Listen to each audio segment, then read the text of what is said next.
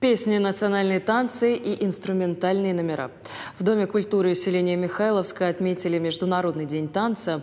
В праздничной программе приняли участие творческие коллективы Дома культуры, ансамбль «Сармат», коллектив даулистов селения Сунжа и воспитанники детского сада селения Михайловское. Дом культуры открыли в 2018 году. С детьми работают по нескольким направлениям – вокал, танцы, современное искусство и музыкальные инструменты.